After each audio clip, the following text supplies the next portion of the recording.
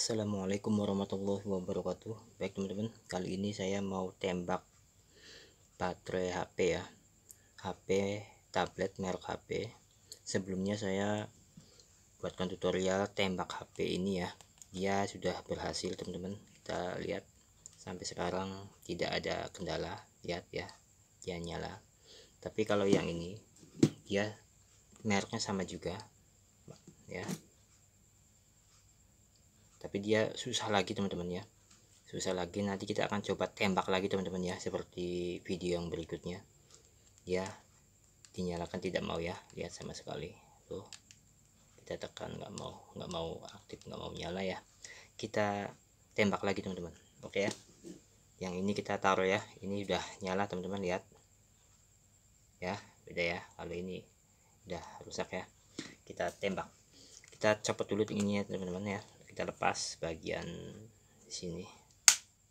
Lihat ya kita lepas dulu kita buka. Setelah buka nanti kita akan cek bagian baterainya. Kita cek pakai apometer. Ini agak susah ya teman-teman ya. Nyopotnya agak susah juga.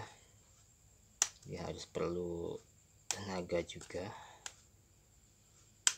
Ya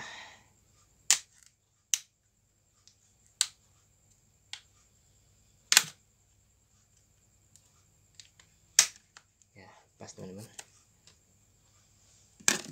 Terus kita cek bagian ini teman-teman ya. Kita cek dulu.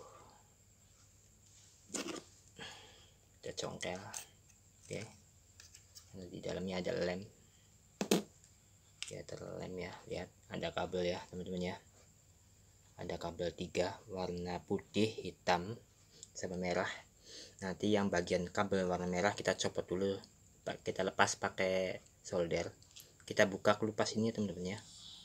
Ini bagian di sini kita paksa lepas saja tapi harus hati-hati. Jangan sampai pot putus. Nah kita kelupas begini teman-teman ya. Tuh. Nanti akan kelihatan ya. Tuh. Bagian yang merah kita lepas pakai solder teman-teman. Bentar ya. Kita lepas dulu pakai solder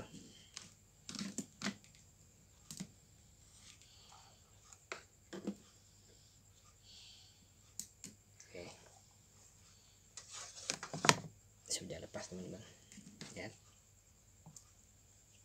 sudah lepas ya. Nih warna merah. Tuh. Sudah lepas. Kita cek pakai apometer ya teman-teman ya. Nanti yang merah ini kita tempelkan warna merah apometer yang positif dan yang hitamnya kita jadikan negatif.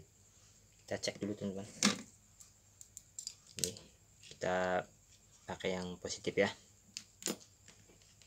Kita lihat di apometer sana teman-teman. Ini ya tuh. Kelihatan ya kita yang merah kita tempelkan yang merah dan yang hitam kita tempelkan sebagai negatifnya teman-teman. Kita tempelkan ya. Bentar, teman-teman. Agak susah ini harus dipenggang lagi ya. Nah supaya kelihatan. Teman-teman juga kelihatan ya. Ya teman-teman kita tempelkan. Coba ya ya ternyata nggak ada ya. Ya teman-teman. Dia nggak ada kan? Ya kosong ya. Hmm. kita tempelkan lagi. Ya kosong ya. Sama sekali nggak ada. Ya kosong. Coba kita langsung charger teman-teman ya. Kita tembak. Jadi dia cara menembak ini begitu kita charger tapi tidak melalui baterai ya. Jadi baterai keadaan kosong artinya kita lepas sambungan kabelnya ya ke baterainya. Terus kita charger teman-teman. Ini ya kita charger. Oke udah kita masukkan. Terus kita cek lagi bagian tegangan outputnya.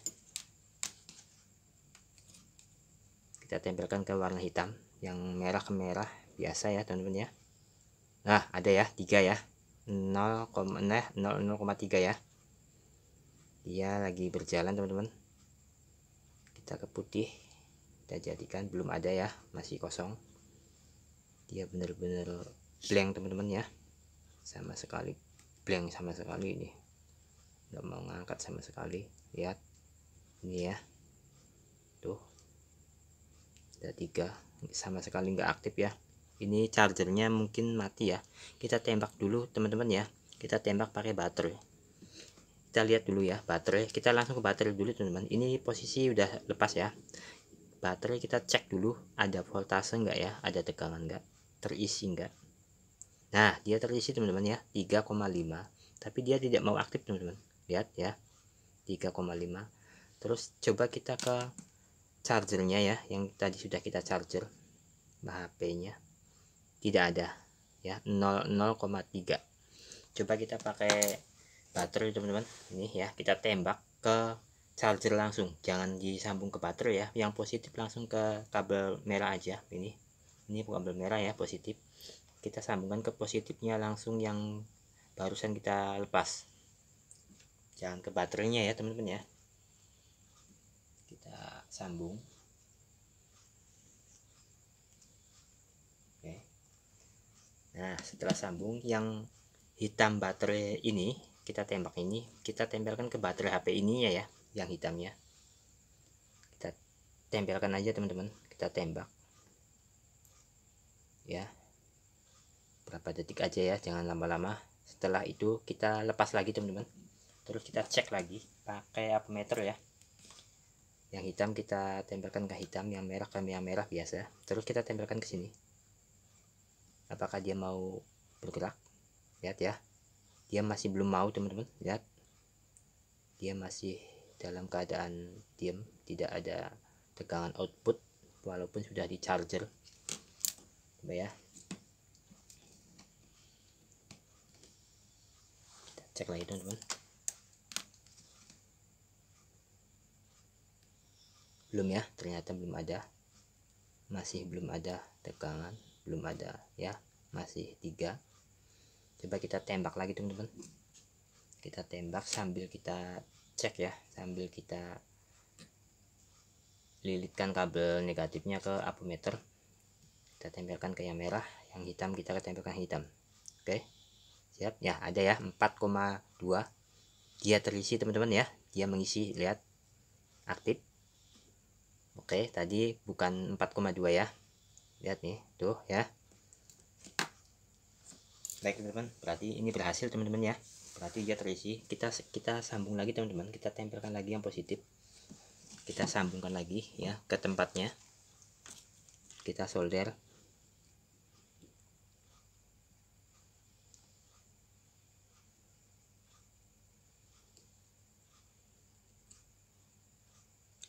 panas teman-teman.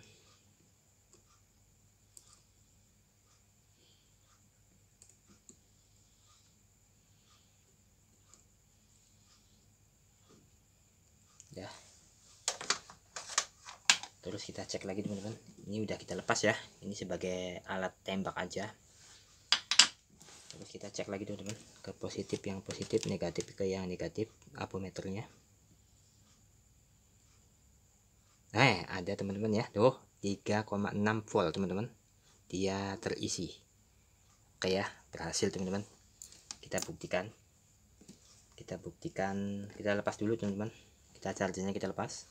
Terus kita masukkan lagi. Ini alasnya kita tempelkan lagi teman-teman untuk menghindari konsleting. Ya kita masukkan lagi. Seperti biasa ya oke kita masukkan lagi kabel-kabelnya ke tempatnya semula. Terus kita lihat ya teman-teman ya. Lihat ya kita chargernya kita isikan ya kita masukkan. Oke coba kita lihat. Hei ada teman-teman ya. Mantep.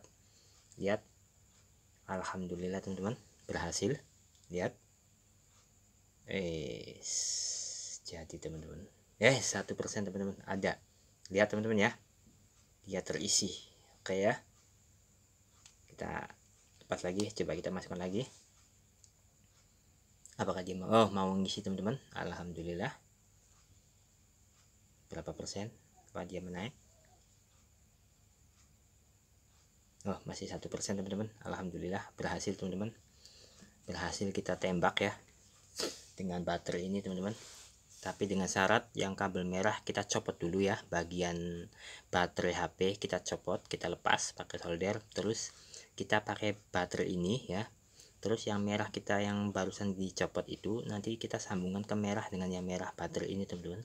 Terus yang hitam ini nanti kita tempelkan ke bagian baterai negatif. Nah terus kita charger langsung ya colokan. Nah tunggu berapa menit setelah itu lepas lagi ini langsung dilepas ya teman-teman ya. Terus langsung pasang lagi ke tempat semula baterainya ya ke baterai HP-nya Insya Allah dia akan mau mengangkat teman-teman. Karena mungkin baterainya sudah lemah atau gimana ya saya kurang ngerti dalam hal teliti itu. Detail-detailnya yang kurang ngerti tapi yang jelas dengan cara menembak baterai dengan baterai ini lain baterai itu bisa. Baik ya saya akhiri. Assalamualaikum warahmatullahi wabarakatuh. Salam peace damai 遠慮にしない。